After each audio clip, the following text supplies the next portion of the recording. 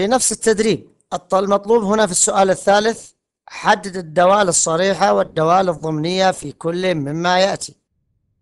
ما هو تعريف الدالة الصريحة؟ علي. أحسنت. الدالة الصريحة أن يكون ال Y في طرف والدالة في طرف. أما الدالة الضمنية اختلاط ال X وال Y في جميع الأطراف. إذا هنا ما نوع هذه الدالة؟ بما أن ال Y في طرف والدالة في طرف آخر إذا هذه الدالة إيش؟ صريحة. هنا مثل. الدالة في طرف Y في طرف. إذا صريحة. هنا اختلط ال X مع ال Y. إذا تسمى الدالة ضمنية.